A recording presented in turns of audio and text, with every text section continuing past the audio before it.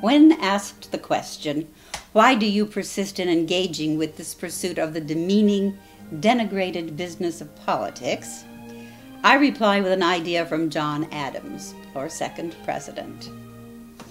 I must engage in politics so that my children have the liberty to study the sciences. My children ought to study the sciences in order that their children may have the opportunity to study the arts. So shall we progress. In short, I persist for the sake of progress progress toward a bright, shining future for all. And I persist for the sake of the children mine, theirs, yours, ours.